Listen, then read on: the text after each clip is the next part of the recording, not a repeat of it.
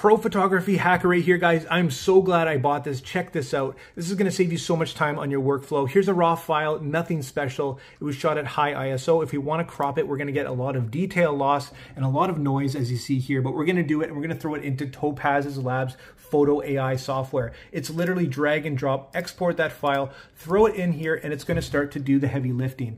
What it's gonna do is denoise it. We're gonna get it to sharpen it and we're gonna come down here to enhance resolution.